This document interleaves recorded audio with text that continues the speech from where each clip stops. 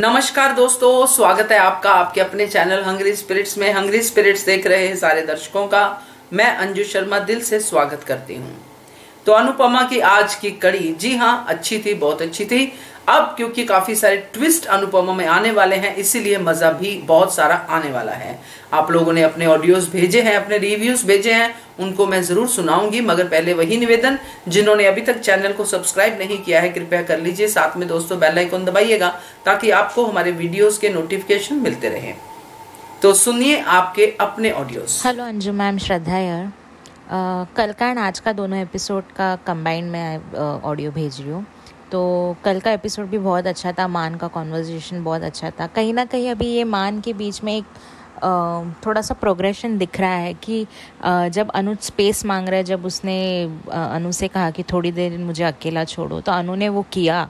And but वो वहाँ दरवाजे के बाहर खड़ी थी उसे पता था शायद अनुज उसको उसके साथ। तो ये कहीं ना कहीं अभी ये थोड़ा सा चेंजेस दिख रहे हैं। मतलब अनुपमा अभी पुश नहीं कर रही अनुज को। जब वो जब वो स्पेस मांग रहा है तो वो दे रही है। एंड uh, जैसे उसने uh, मतलब फिर बाद में जैसे अनुज ने उसका वो पूरा दर्द बताया वो बहुत बुरा लगा वो सब सुन के। क्या क्या सहन किया है उसने।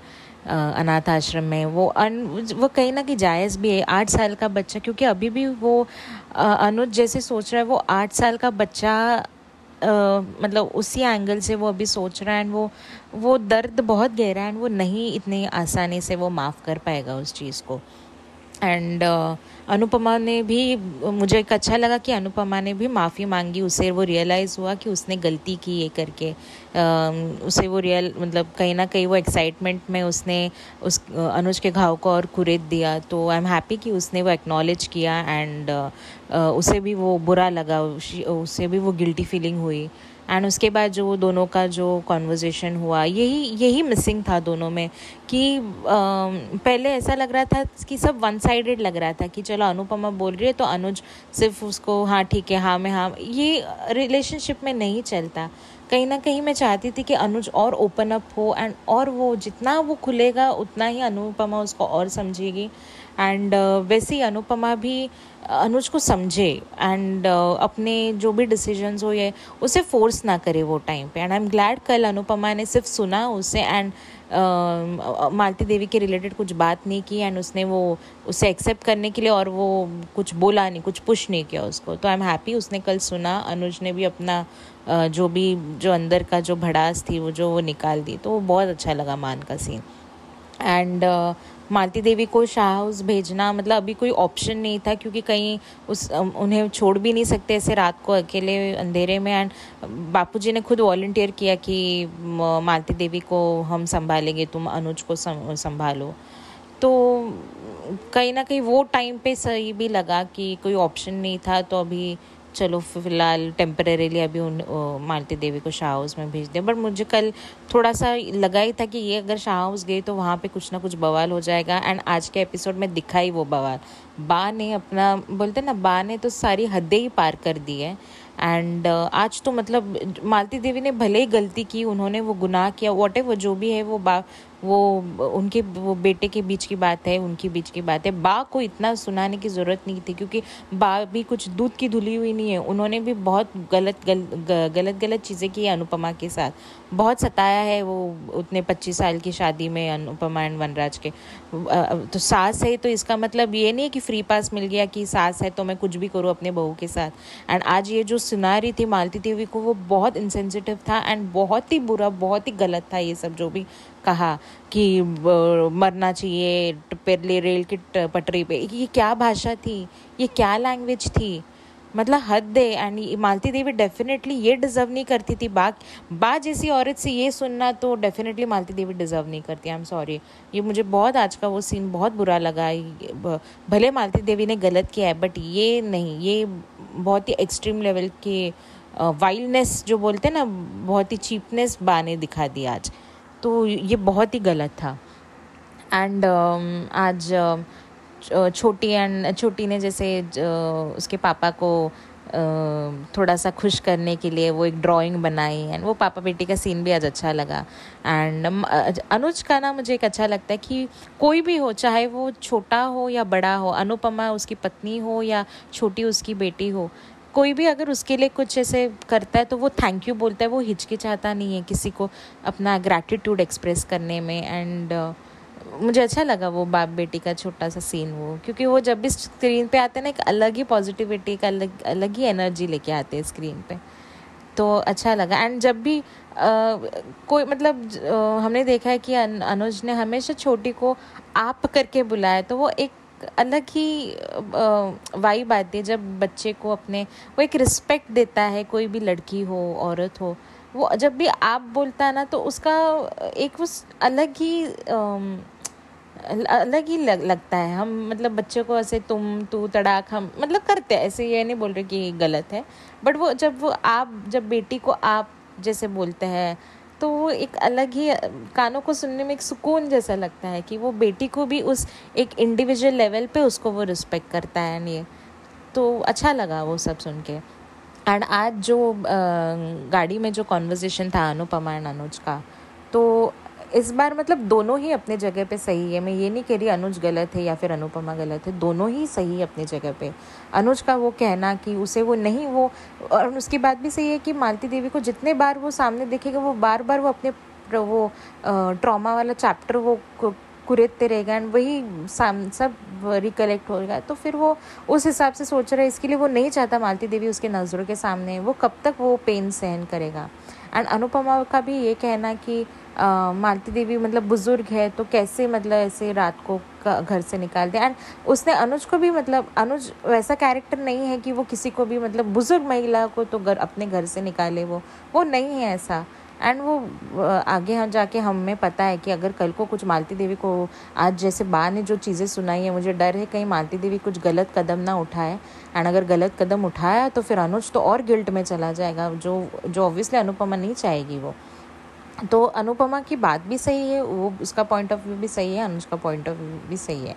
तो ये बार ये जो सिचुएशन है, ये मतलब ये कॉन्फ्लिक्ट जो है, ये सही कॉन्फ्लिक्ट है। एंड इसमें हम दोष किसी को भी नहीं दे सकते। तो अभी देखना पड़ेगा, क्योंकि ये बोलते हैं ना कुछ कुछ चीज़ें हमारे हाथ में नहीं होती। वो समय पे छोड़ना पड़ता है, भगवान पे भी छोड़ना पड़ता है कि वो ऑर्गेनिकली वो सब प्रॉब्लम सॉर्ट आउट हो जाए। तो आज ये अच्छा लगा ये मान का जो दो तीन दिन से जो कॉन्वर्जेशन दिखा रहे यही मैं चाहती थी कि वो एकदम किसी बोलते ना विदाउट एनी फ़िल्टर मन की जो बात है पूरी बोल दें एंड चाहे डिसग्रीमेंट भी हो तो भी चलेगा, क्योंकि शादी में अगर डिसग्रीमेंट है, तभी तुम्हारा रिश्ता ज़िंदा होता है। तो ये डिसएग्रीमेंट होनी चाहिए। ऐसा नहीं कि अगर एक कोई बोल रहा है तो बस उसके हाँ में हाँ मिलाओ, भले आधे मन से हो। ऐसा नहीं होना चाहिए। अगर तुम नहीं अग्री करे उस चीज़ को तो बोलो, सामने रखो एंड काउंटर अटैक भी करो। समझाओ सामने वाले को, नहीं तुम गलत करो जैसे आज अनुपमा उसको समझा रही थी कि आप भी नहीं चाहते कि मतलब आप भी ऐसे घर से नहीं निकाल सकते ये। एंड वो ऐसे मतलब वो सुनने के मूड में नहीं था तो वो बोला कि वॉट एवर जो भी है करके ऐसे उसने बोला। बट फिर भी अनुपमा ने बोला, नहीं, ये आप गलत कर रहे हो। तो ये अच्छी बात है, अगर कोई गलत कर रहा है तो उसको बताओ सामने। वैसे अनुज भी करता है हमेशा अनुपमा के साथ कि तुम गलत कर रहे हो तो तुम ऐसे करो। तो यही तो मान की खासियत है। एंड यही मैं चाहती थी कि कुछ दिनों से ना ये दिल, जो भी डिसग्रीमेंट है ना, वो हिचकिचाहट थी उनमें कि कैसे बोले, क्या बोले। एंड माया ट्रैक में ये बहुत कुछ बहुत हुआ एंड आई एम ग्लैड कि उसके बाद अभी ये थोड़ा थोड़ा प्रोग्रेशन इनके रिलेशनशिप में दिख रहा है कि अगर नहीं चीज़ें कुछ आप सहमत हो तो सामने बोलो, खुल के बोलो उसको। एंड आई एम ग्लैड कि आज वो कॉन, कार में जो कॉन्वर्जेसन था मुझे बहुत अच्छा लगा। अभी देखते हैं आगे क्या अभी कल जैसे गन, गणेश चतुर्थी गणपति जी का आगमन होगा कपाड़िया हाउस में अभी। समर को मतलब अभी एक को थोड़ा सा एक झलक अभी दिखाई कि डांस करते करते समर स्लिप हो गया एंड वो पीछे वो कैंडल स्टैंड पे उसका सर लगने वाला था बट अनुपमा ने उसे बचाया। अभी प्री कैप में हम एक वो शॉट देख रहे हैं जहाँ पे वनराज वापस अनुपमा एंड अनुज के बीच में अभी वो एक शॉट उसका है। तो अन, इस बार वनराज वापस फूट डालेगा ये अनुपमा एंड अनुज के बीच में इनके शादी को बर्बाद करने के लिए वापस ये समर के बहाने अभी ये वापस कुछ ना कुछ हंगामा करेगा ये। तो अभी यही देखना है कि समर के साथ क्या होता है क्योंकि मुझे कहीं ना कहीं ये लगता है कि समर को कुछ होगा नहीं मतलब एटलीस्ट डेफिनेटली उसकी डेथ तो नहीं होगी बिकॉज़ समर की डेथ मतलब बहुत बड़ी चीज़ है। तो आई रियली होप समर की डेथ ना हो। हाँ कुछ ड्रास्टिक कुछ एक्सीडेंट जैसा हो सकता है शायद वो आ, बोलते ना ऐसे मरने की हालत में हो सकता है बट वो ज़िंदा हो जाएगा। कुछ तो चमक अभी बप्पा है तो ऑब्वियसली विघ्न तो वो हरते हैं। तो आई डोंट थिंक सो ऐसे कुछ ड्रास्टिक होगा। होपफुली ऐसा ना हो। बट देखते हैं आगे के एपिसोड्स में क्या एग्जैक्टली exactly समर क्योंकि ये अभी समर ट्रैक को लेके तो अभी थोड़ा सा इंटरेस्ट है, क्योंकि अनुज पे के ऊपर क्यों ब्लेम आया है? ऐसा क्या हुआ है? वो तो देखना तो बनता ही है अभी। तो लेट्स सी बट अच्छा लगा। आज का एपिसोड भी अच्छा लगा एंड आई एम श्योर आगे के ट्रैक में भी बहुत ही अच्छा होगा। क्योंकि एक साइड में अनु एंड समर माँ बेटे हैं तो एक साइड पे अनुज and Malti Devi as a माँ बेटे हैं। तो इंटरेस्टिंग होगा देखने के लिए। तो बस, आज के लिए इतना ही। Thank you so much good morning Anju ma'am मैं सीमा गुप्ता, सिरसा से। मैम स्वार्थ से परिपूर्ण है शाह परिवार। अनुपमा ने इस घर के लिए खुद को भुला दिया। चाहे वो वनराज के साथ रिश्ते में थी या फिर नहीं। लेकिन अनुपमा ने और किसी भी रिश्ते को वनराज के कारण बलि नहीं चढ़ाया। बाबूजी और बा उन्हें अपने माँ बाप समझा। बच्चे तो है ही उसके, उनके लिए अपने आप को लुटाया। कसूर वनराज करता रहा और मेहनत बिगड़ी स्थिति को संवारने में अनुपमा ने की। लेकिन मालती देवी को तो दो चार दिन रखने की हिम्मत भी नहीं जुटा पाई ये कहने की अनुपमा शाह परिवार को। या फिर वो जानती थी कि बा और वनराज क्वेश्चन मार्क लगा देंगे इस बात पर। अनुपमा हर हाल में अनुज के इस अधूरेपन को पूरा करना चाहती है। उसे पता है कि अनुज कितना तड़पा है अपनी माँ के लिए। उसे उम्मीद भी है, आज नहीं तो कल अनुज का गुस्सा उतरेगा और वो अपनी माँ को स्वीकार कर लेगा। इसी इंतज़ार में है अनुपमा। वो अनुज की बात रख कर मालती देवी को अनुज से कुछ दूर रख रही है, ताकि जब गुस्सा ठंडा हो जाए तो वो अनुज को उसकी माँ दे दे। कोर भीगे हैं आँखों के, कोर भीगे हैं आँखों के। माँ आकर तू पहुँच दे आंचल से तेरे। ना सुनी कभी लोरी तेरी, ना उठाए तूने नखरे मेरे। समेट कर आंचल में अपने, गम चालीस साल के आज पीले मातू कर्जा है गुस्से का मेरे सर पर चढ़ रहा। चल माँ, अपने आंसुओं की बाढ़ से सब धो दे तू। मालती देवी को अपने किए का पछतावा बहुत है, लेकिन गुजरा समय कभी वापस तो नहीं आया ना। शर्मिंदा हूँ मैं नहीं की कोई मालिश तुम्हारी, शर्मिंदा हूँ मैं नहीं की कोई मालिश तुम्हारी। तुम्हारे बचपन को न मैंने जिया, तुम्हें खेलते हुए न मैंने देखा। कसूरवार हूँ तुम्हारी बच्चे मेरे जो चाहे तू दे दे सज़ा मुझे। तेरी सज़ा को समझकर प्रसाद मैं अपना लूँगी अपने अंग संग। अभी भी मालती देवी को अपने जीने की पड़ी है, अनुज के जीने की नहीं। अपने बेटे को पाने की इसीलिए अनुपमा से ज़िद कर रही है कि मुझे मेरे बेटे के पास रहने दो। अनुज की तकलीफ़ उसके लिए सर्वोपरि नहीं। सच कहूँ तो लगता है कि मालती देवी माँ के मायने समझने में अभी भी फेल है। हेलो अंजू जी, आपको और मेरी सारी सहेलियों को मेरा प्यार भरा नमस्ते। थैंक यू मनीषा जी और श्रद्धा। आप लोगों का मेरा मेरा ख्याल आया कि आ, मैं कैसी हूँ तो मैं बहुत अच्छी हूँ। हम लोग मेरा और मेरा परिवार पूरी तरह से सेफ़ है। हाँ नागपुर में तूफ़ानी बारिश बहुत हुई और बहुत ज़्यादा डरावना था वो पूरी रात डरावनी थी हम लोगों के लिए क्योंकि जब बारिश शुरू हुई तो इतने तूफ़ान के साथ ही शुरू हुई और बहुत डरे हुए थे हम लोग कि क्या होगा अगले पल किसी को पता नहीं था, ऐसा लग रहा था कि कुछ फट जाएगा, कुछ फट जाएगा, हमारे घर पे बिजली गिर जाएगी क्या?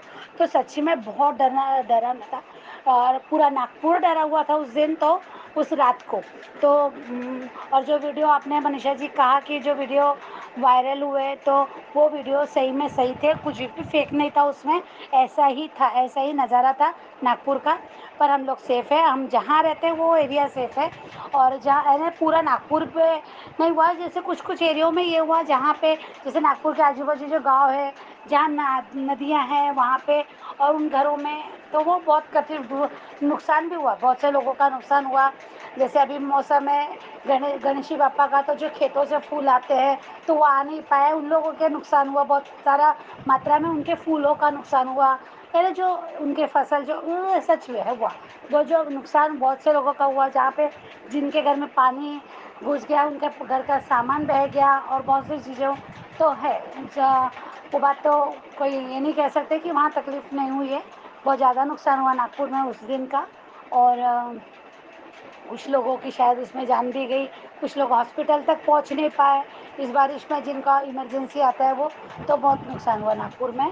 और पर हम लोग सेफ़ है। और आज के शो के बारे में बोलूँगी कि आज का शो आपने, मैंने आपका भी वीडियो देखा तो सही कहा आपने। बाकी जो बा की जो हरकत है बा, हमेशा लिमिट छोड़ के बात करती है।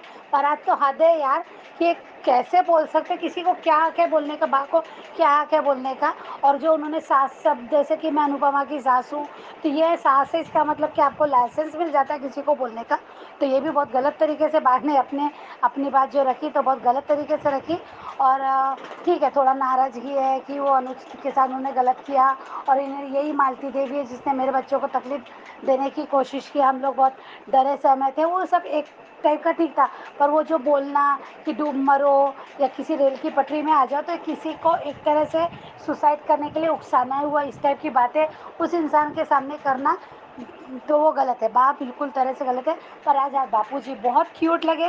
बापू जी ने आज बहुत अच्छा फैसला लिया। शायद पहली बार लिया बाप के खिलाफ जाके फैसला। हमेशा बाप बापू जी चुप हो जाते हैं तो वो बहुत अच्छा लिया। और अनुपमा को आने से रोका, मैं भी लगी रहा था, अरे बाबा, अभी तो फ़ोन कर दिया बाने तो क्या होगा, अनुपमा फिर से जाएगी? फिर से सारे लोग तैयार, अनुपमा के लिए तैयार तलवार लेके कि अभी अनुपमा गई बेटा काम से। पर नहीं, बहुत अच्छा लगा। बापू जी का वो अनुपमा को आने से रोक दिया और अनुज को बता भी दिया कि बापू जी ने मना कर दिया जो कार में। तो कार में भी जो दोनों बातें करते तो उन लोगों की बातें भी बहुत अच्छी लगी। अनुपमा ने बहुत अच्छे से कहा कि मैं पिस गई। सही बात है। और अनुज का, मुझे अनुज के डायलॉग आज बहुत अच्छे लगे। उसने, उन्होंने जो कहा कि, अरे कहा, आप मुझे, मैं अनुज से यही एक्सेप्ट करती थी कि जैसे सबको शिकायत है कि अनुपमा मनमानी करती है, अनुपमा जो भी बोलती है तो अनुज मान लेता है। तो आज अनुज ने बहुत अच्छा कहा कि नहीं, मुझे मालती देवी के साथ नहीं रहना है और उनको कहीं तो गणेश विसर्जन के बाद उनको भी मेरी ज़िंदगी से जाना ही होगा। उनके लिए मैंने जो व्यवस्था की, वो जो कहीं किसी जगह की बात करता कि वहाँ पे सब उनका वहाँ रखेंगे हम उनको, यहाँ नहीं शाह उसमें भी नहीं जाना चाहिए। तो वो भी उसने जो भी कहा था आज मुझे अनुज का वो अच्छा लगा। मैं तो यही चाहती थी कि अनुज खुद के लिए बोले। और ऐसा हमेशा जो बोलते हैं और सब कि अनुपमा पे डाल देती, डाल दिया जाता है कि अनुपमा अपने मनमानी करती है। तो आज मुझे अच्छा लगा। अनुपमा के लिए भी अच्छा लगा और अनुज बोला, वो उसके लिए भी अच्छा लगा। ये होना चाहिए, खुद के भी डिसीज़न होना चाहिए। पति पत्नी है, प्यार का था इसका मतलब नहीं कि हर बार माने। और अनुपमा कोई मनमानी नहीं करती, अनुपमा भी वही सोच के करती है। और माँ है, आज गुस्सा है। आज गुस्से में निकाल देंगे हम उस, अगर उस माँ को। और पाँच, पंद्रह दिन बाद, एक महीने बाद, दो महीने बाद, अगर तुम्हारे हृदय परिवर्तन हुआ, तुमको कहीं लगा कि नहीं, तुम्हारी माँ है वो हम, मैंने गुस्से में बोल दिया। जो भी वो जैसी भी हो, जो भी हो, वो मेरी माँ है, अगर ऐसा आया, तब। तब क्या होता है? तब हम बोलते हैं ना कि अनुपमा ने भी तो इस बार तो अनुपमा ने गलत ले लिया। बाकी समय तो अनुपमा ऐसा नहीं करती है, फिर अनुज की माँ के साथ ही क्यों? तो ये बात हम तब भी ऐसा ही कहते तो क्या करती है अनुपमा? कल शिकायत थी, कल के कि अनुपमा पीछे पीछे नहीं गए अनुज के रूम में। अनुज ने, पर क्या करती? अनुपमा, अनुज ने फैसला सुना दिया था। मैं अनुज को गलत नहीं कह रही हूँ। पर अनुज ने कह दिया कि अगर ये मालती देवी अगर यहाँ रहेगी तो मैं यहाँ नहीं रहूँगा, मैं चले जाऊँगा घर छोड़ के। तो अनुपमा क्या करती? क्या करती? अनुज के पीछे पीछे जाके एक तो उसको थोड़ा स्पेस भी चाहिए था, अनुज को देना भी ज़रूरी था। और उसके बाद मालती देवी का अभी क्या करूँ मैं? कुछ तो सोचती है ना, कुछ तो सोचना पड़ेगा उसको। अब जो उसके हो गई उसको उसको अनजाने में हो गई गलती, उसको नहीं पता था कि मालती देवी ने अनुज को क्यों छोड़ा। वो तो अनुभव, अनुज की माँ है खुशी खुशी अनुज को खुशी देने के लिए वो आ रही थी। वो ये सोच रही थी कि इतना बड़ा गिफ्ट होगा अनुज के बर्थडे पे, उसे इतनी बड़ी खुशी मिलेगी कि तुम्हारी माँ का पता चल गया। तो जो उसके मन में था उन्होंने नहीं जानती थी कि हम लोग देख रहे हैं, इसलिए हम गुस्सा कर रहे हैं। अरे, ये क्यों कर रही अनुपमा ऐसा क्यों कर रही पर अनुपमा नहीं जानती थी ना कि क्यों छोड़ा। हकीकत जाने के बाद उसने कहा भी, जितना बोल सकती, उतना बोला भी। हमेशा चिल्ला चिल्ला के अगर अनु, जैसा अनुज बोल रहा है, वैसे अनुपमा ने भी उन पर बरस जाती तो क्या होता? अनुज का गुस्सा कहाँ शांत होता और पड़ जाता? तो वो अनुपमा व्यक्त वक्त और वो पूरा हक अनुज का था, अनु, मालती देवी पे गुस्सा होने का। पूरा हक था। वहाँ पे वो उसकी गुरु माँ है, वो सास है, जो भी हो उतना सडनली उस समय इतना कोई नहीं सोचता, पर वो पूरा सैलाब अनुज का निकलना चाहे था बाहर तो वो अनुज बोलता, अनुज, अनुपमा क्यों बोलती?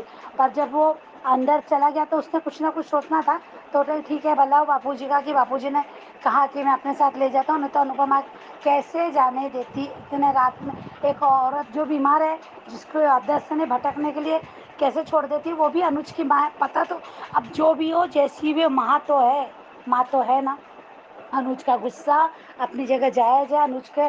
तकलीफ़ में सच में बहुत ज़्यादा तकलीफ़। अनुज को ना, अनुज ने उसका दर्द तो वही समझ सकता है, जो हुई उस दर्द से निकला है। तो सच में अनुज गलत नहीं है। अनुज अगर डिसीज़न ले रहा है कि मालती देवी के साथ नहीं रहना तो वो उसका अपना फैसला है, क्योंकि तकलीफ़ भी उसे ही मिली, दर्द भी उसे ही मिला। तो अलग है, पर अनु अनुपमा ने अब तक कहीं भी फोर्स नहीं किया। कहीं भी उसने ये नहीं कहा कि हम रखेंगे अनुपम। अनुज हम माँ माँ माँ को मैं नहीं जान दूँगी उसने समझाने की कोशिश की कि इतने बुज़ुर्ग औरत को हम कैसे जाने दे सकते हैं तो वो अलग बात है। वो तो समझाना कौन समझाएगा इस बात को? कौन समझाएगा? तो वो अलग बात है और आज कार में भी बहुत अच्छा लगा, वो भी था।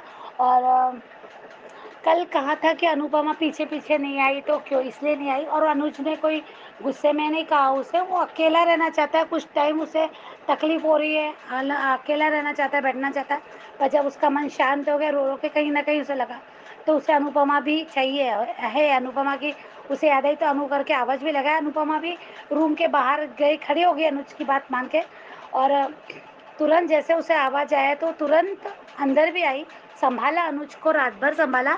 जैसे कि हमने आज देखा कि अनुपमा अनुज को अनुज को संभाल रही है, उसकी गोदी में सर रखे।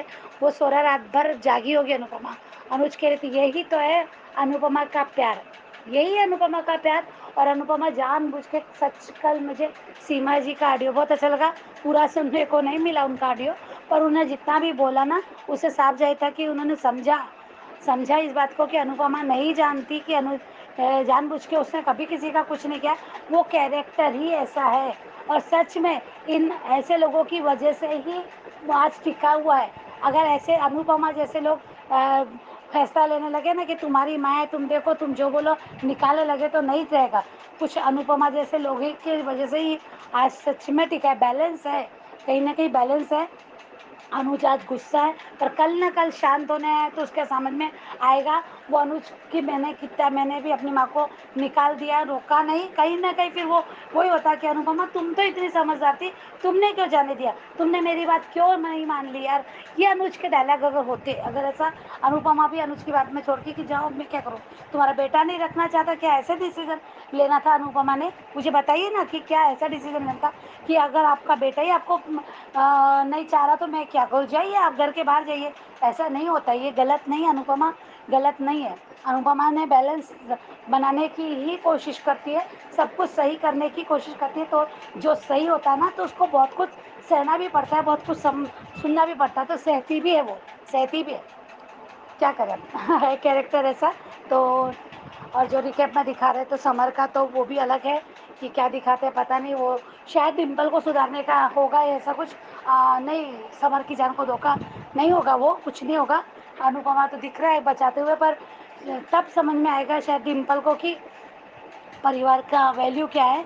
तो मुझे ऐसा लगता है, वो डिम्पल को सुधारने के लिए वो ट्रैक दिखाएँगे, मालती देवी का ट्रैक कहाँ तक आगे जाता है, उसके बारे में तो हम बाद में बोलेंगे।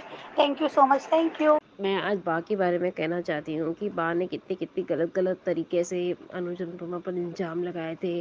फ़र्स्ट ऑफ़ जब उन लोगों ने अपने ऑफ़िस ट्रिप के लिए बाहर गए थे तो बीच में ऐसा कुछ हुआ था कि बहुत ज़्यादा बारिश हो गई थी और बारिश होने की जगह बच्चे जहाँ पे पार्टीज़ कर रहे थे तो वहाँ उस घर में रुकना पड़ा। और उस, उसी घर में जब अनुज को बुखार हो गया था तो अनुपमा पूरा केयर कर रही थी। तो उस वजह से हर बात पर इंट्रोडक्शन देना कि इस तरह की गलती है और घर आके इतनी सारी गालियाँ देना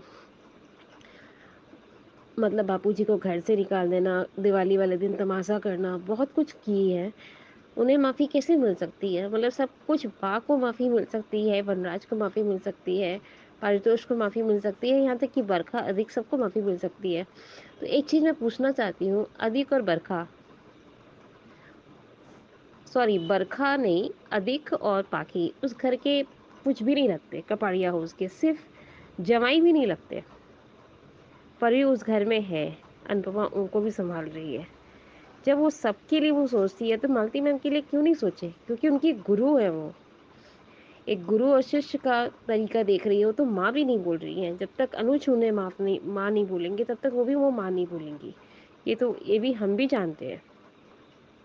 लेकिन एक चीज़ मुझे समझ नहीं आया कि आपने जो कहा कि बप्पा के विदाई के बाद समय की हो जाएगी मौत तो ये कहाँ का जस्टिस है? काना जी, दुर्गा माँ मतलब जिसका जितना पूजा करना, भगवान का जितना प्रिय पूजा करना, क्या मेकर्स को शोभा दे रहा है? अगर सागर पारक को इस शो से मतलब समर को निकालना है तो उन्हें कोई अच्छे ट्रैक करके निकाले, वरना ना, वरना वैसा कोई ट्रैक ना डाले कि अनुज के ऊपर ब्लेम आ जाए। क्यों? हर बार हर बार टेस्ट अनुज को ही क्यों देना पड़ता है? शादी करना है तो अनुज को ही टेस्ट देना है। बच्चों की बात आई है तो अनुज को ही टेस्ट देना है। माया के टाइम पे भी अनुज को ही टेस्ट देना है। सब कुछ में अनुज का ही टेस्ट क्यों? वनराज, पारितोष क्या दूध के घुले हैं? उन लोग भी साथ में पार्टी करने गए थे तो उन पर ब्लेम क्यों नहीं आ सकता है? अधिक भी साथ में था, उन पर भी ब्लेम आना चाहिए। हर समय अनुज पर ही ब्लेम क्यों? आई डो नॉट थिंक आज कि ये स्टोरी दिखाने की कोशिश क्या कर रहे हैं? मतलब एक बार लविंग पार्ट हो जाना चाहिए पति पत्नी में प्यार और घर को संभालना और फिर अट्रैक्शन ये सीरियल दुनिया सही नहीं है। दिस इज़ नॉट राइट इस ट्रैक को चेंज किया जाए। स्टोरी में अगर कुछ यूनिक लाना हो तो कुछ अच्छा लाएँ। आप पापा को बुलाकर, पापा के सामने ही उनके प्रिय बेटे को आप ऊपर बुलाने की प्लानिंग कर रहे हैं। कर रहे हैं तो इसका मतलब क्या है कि अनुपमा को पूजा पाठ से अपना भरोसा तोड़ देना चाहिए जैसे कान्हा जी का वो पूजा करती हैं गणेश जी का पूजा करती हैं सबका पूजा पाठ करती हैं वो वो सब पूजा पाठ बंद हो जाना चाहिए? ऐसा क्यों? जब श्रद्धा से ही है तो बच्चे भी स्वस्थ होने चाहिए बच्चे भी आ, उन्हें भी एक्टिवेटेड होना चाहिए और पति को भी मान सम्मान मिलना चाहिए। वो मान सम्मान रिज़र्व करते हैं पर उन्हें मिलता नहीं है। वनराज को मिलता है। यहाँ तक कि वनराज कपाड़िया हाउस में जाता है तो आराम से उसका स्वागत होता है। कौन सा घर? ऐसा है कि एक्स पति के आते हुए इतना स्वागत, कभी पानी पकड़ाना, कभी चाय पकड़ाना। मैं तो पहला सीरियल देखती हूँ कि एक्स पति के आने के बाद इतना स्वागत। और प्लस अनुज करते हैं स्वागत। तो अनुज का मतलब वनराज का भी राइट बनता है कि इतने स्वार्थी ना बने कि उनकी माँ आई है तो रहने दीजिए। अगर वो दस दिन भी रहती हैं, एक बुज़ुर्ग लेडी को क्या चाहिए? परिवार, प्यार। अगर वही नहीं मिलेगा तो कहाँ से? वो तो अपनी गलती को एहसास कर रही है ना कि मेरी गलती यहाँ पे है। जब कोई माँ अपनी गलती एहसास करती है तो वो सबसे बड़ी मोटिवेशन होती है कि नहीं, मेरी गलती पर मुझे अब अपने बेटे को संभालना है। और शायद पता नहीं पापा के आने के बाद माँ बेटे मिलते हैं। एक बेटे, माँ बाप, बेटे को मिलाने के लिए ट्रैक लगाया जा रहा है और एक माँ बेटे को अलग करने का ट्रैक लगाया जा रहा है। तो आई डो नॉट थिंक आज की स्टोरी में पता नहीं क्या दिखाना चाहते हैं, लेकिन ये बहुत बड़ा मिसअंडरस्टैंडिंग है। ऐसे स्टोरी ठीक चल रही है, बस समर की मौत ना दिखाए। अगर दिखाना है तो समर कहीं बाहर चले जाए, जैसे कि अपने कोई डांसिंग कंपस के लिए कि मैं इतने दिन के लिए बाहर जा रहा हूँ डिम्पल को देख लीजिएगा। उस टाइप में भी वो ट्रैक डाल सकते हैं, ना कि मौत। वो माया को भी हटाने का प्लानिंग चला तो उन्हें भी वो मौत का ट्रैक दिखा कर ख़त्म कर दिया गया। क्या सीरियल में इस तरह का ट्रैक दिखाया जाएगा कि कि अगर कोई एक्ट्रेस बाहर निकलता है तो उन्हें बाहर निकालने के चक्कर में आप उन्हें दैट ट्रैक दिखा दिया जाए और स्टोरी में ऐसा रिवल्ट कर दिया जाए कि एक दूसरे पर ब्लेम साइड कर दिया जाए, ये स्टोरी सही नहीं है। श्रद्धा दीदी, मैं आपका कल बहुत तारीफ़ कर रही थी और आज भी कर रही हूँ। आप बहुत अच्छा बोलती हैं और बहुत अच्छा समझाती हैं। तो काश मैं भी आपकी तरह सीखूं और समझूं। तो प्लीज़ मुझे भी अपडेट करते रहिए। महिमा ऐसे करो। I am very proud of Kumun दी कुमुन दीदी सदनम दीदी मनीषा दीदी आप लोग बहुत अच्छा बोलती हैं। थैंक यू अंजू दीदी आप भी। I love you too all of you ये थे दोस्तों आज के ऑडियोज कैसे लगे आपको? आपका भी मन है अगर भेजने का तो नंबर मैं आपसे शेयर करती हूँ नोट कर लीजिए। नंबर है nine eight double three one triple five two three. इस नंबर पे भेजिए। बनिए हिस्सा अनुपमा के पब्लिक वॉइस वीडियो का। Keep watching hungry spirits channel thank you so much